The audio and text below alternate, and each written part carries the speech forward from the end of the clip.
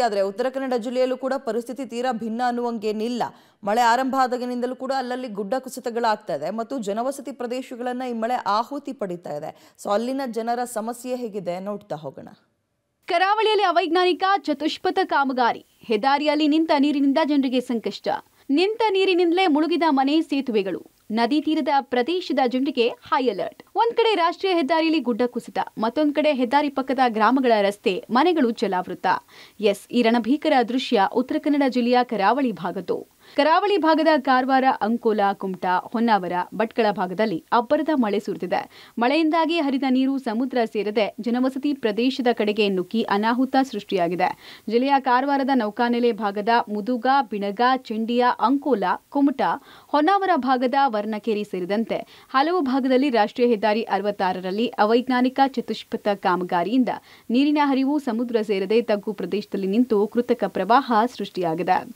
ಅಲ್ಲದೆ ಗುಡ್ಡ ಕುಸಿತವಾಗಿ ಸಂಚಾರಕ್ಕೆ ಅಡಚಣೆಯಾಗಿದೆ. ಇನ್ನು ಖುದ್ದು ಜಿಲ್ಲಾ ಉಸ್ತುವಾರಿ ಸಚಿವ ಮಂಕಾಳು ವೈದ್ಯ, ಹಾನಿ ಪ್ರದೇಶಕ್ಕೆ ತೆರಳಿ ಮಾಹಿತಿ ಪಡೆದಿದ್ದು, ಚತುಷ್ಪಥ ಹೆದ್ದಾರಿ ಕಾಮಗಾರಿ ನಡೆಸ್ತಾ ಇರುವ ಐಆರ್ಪಿ ಕಂಪನಿ ವಿರುದ್ಧ ಕಿಡಿಕಾರಿದ್ದಾರೆ. ಐಆರ್ಬಿ ಅವರು ಕೆಲಸ ಸರಿ ಮಾಡಲಿಲ್ಲ, ಕಳಪೆ ಕಾಮಗಾರಿ ಮಾಡಾರೆ, ಯಾವುದೇ ಇಂಜಿನಿಯರು ಒಂದು ಇಟ್ಕೊಂಡು ಮಾಡಿದ ಹಾಗಿಲ್ಲ ಅವ್ರಿಗೆ ಬೇಕಾದಂಗೆ ಮಾಡ್ಕೊಂಡು ಹೋಗ್ತಾ ಇದ್ದಾರೆ. ಅದು ಮತ್ತೆ ಮತ್ತೆ ನೋಡಿದಾಗ ಈಗ ಹೊರಗೆ ಬೀಳ್ತಾ ಇದೆ centre B J P central minister, I R B road owner. ಅವ್ರು ಅಲ್ಲಿಂದ ಪ್ರೆಸರ್ ಹಾಕಿ ಇಲ್ಲಿ ಅಧಿಕಾರಿಗಳಿಗೆ ಏನು ಸರಿ ಮಾಡಿ ಕೆಲಸ ಮಾಡಲಿಕ್ಕೆ ಬಿಡ್ತಾ ಇಲ್ಲ.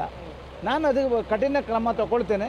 ಅವ್ರ ಮೇಲೆ ಆ್ಯಕ್ಷನ್ ಆಗದೆ, ಆಗಲೇಬೇಕು. ಆಗದಿದ್ದರೆ ಜನನೇ ಹೆಚ್ಚು ಕಡಿಮೆ ಈಗ ನಮ್ಮ ಹತ್ರ ಸಾಧ್ಯ ಆಗೋದಿಲ್ಲ ಅನ್ನುವಂಥ ಪರಿಸ್ಥಿತಿ ಏನಾದರೂ ಜನಕ್ಕೆ ಗೊತ್ತಾದರೆ ಜನ ರೋಡ್ಗಿಳಿತಾರೆ ಜಿಲ್ಲಾದ್ಯಂತ ಏಳು ಕಾಳಜಿ ಕೇಂದ್ರ ತೆರೆದ ಜಿಲ್ಲಾಡಳಿತ.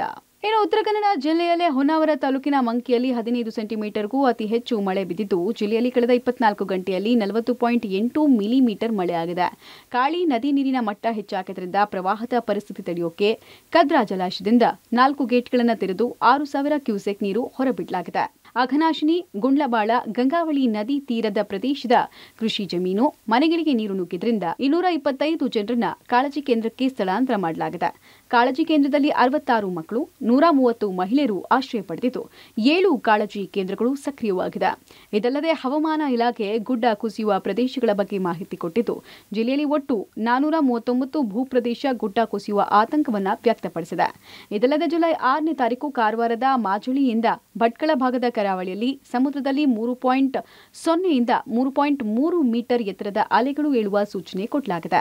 ಕಾಳಜಿ ಕೇಂದ್ರಗಳು ಟ್ವೆಂಟಿ ಫೋರ್ ಇಂಟು ಸೆವೆನ್ ಕಾರ್ಯನಿರ್ವಹಿಸ್ತಾ ಇದೆ. ಮತ್ತೆ ಅಲ್ಲಿ ವೈದ್ಯರ ಸೇವೆ ಕೂಡ ಅವರಿಗೆ ಸಿಗಲಿದೆ. ಮೆಡಿಸಿನ್ಸ್ ಫೆಸಿಲಿಟಿ ನಾವು ಮಾಡಿದ್ವಿ. ಊಟ, ಹಾಸಿಗೆ ಕೂಡ ಹೊದಿಕೆ ಕೂಡ ಅವರಿಗೆ ಹೊಸದಾಗಿ ಖರೀದಿ ಮಾಡಿ ತಂದು ಕೊಟ್ಟಿದ್ದೀವಿ ಮತ್ತೆ ಅಲ್ಲಿರುವಂತಹ ಏನು ನಮ್ಮ ವಿಲೇಜ್ ಅಕೌಂಟೆಂಟ್ಸ್ ಇರ್ಬೋದು, ಗ್ರಾಮ ಸಹಾಯಕರು ಇರ್ಬೋದು, ಅವರ ಕಾಳಜಿಯನ್ನು ತಗೊಳ್ತಾ ಇದ್ದಾರೆ. ಅವರಿಗೆ ಯಾವುದೇ ರೀತಿಯಾದಂತಹ ಅಗತ್ಯ ನೆರವು ಬೇಕಾದಲ್ಲಿ ನಮ್ಮ ಜೊತೆನೂ ಕೂಡ ಅವರು ಸಂಪರ್ಕದಲ್ಲಿದ್ದಾರೆ. ಅವರಿಗೆ ನಾವು ಸರಿಯಾಗಿ ಕೇರ್ ಮಾಡ್ತಾ ಇದ್ವಿ. ಸದ್ಯ ಜಿಲ್ಲೆಯಲ್ಲಿ ಜುಲೈ ಒಂಬತ್ತರವರೆಗೂ ಹೆಚ್ಚಿನ ಮಳೆಯಾಗುವ ಸೂಚನೆ ಕೊಡಲಾಗಿತ್ತು. ಶಾಲಾ ಕಾಲೇಜುಗಳಿಗೆ ರಜೆ ಘೋಷಿಸಲಾಗಿದೆ. ಇದೀಗ ಕರಾವಳಿಯಲ್ಲಿ ರಾಷ್ಟ್ರೀಯ ಹೆದ್ದಾರಿ ಚತುಷ್ಪಥ ಕಾಮಗಾರಿಯಿಂದ ಕೃತಕ ಪ್ರವಾಹ ಸೃಷ್ಟಿಯಾಗಿ ಜನ ಸಂಕಷ್ಟವನ್ನು ಎದುರಿಸ್ತಾ ಇದ್ರೆ, ಹೆಚ್ಚಿನ ಮಳೆಯಿಂದಾಗಿ ಮತ್ತಷ್ಟು ಅನಾಹುತ ಆಗುವ ಆತಂಕದಲ್ಲಿ ಜನ ಕಾಲ ಕಳೆಯುವಂತಾಗಿದೆ. Naveen, public TV, Karwar.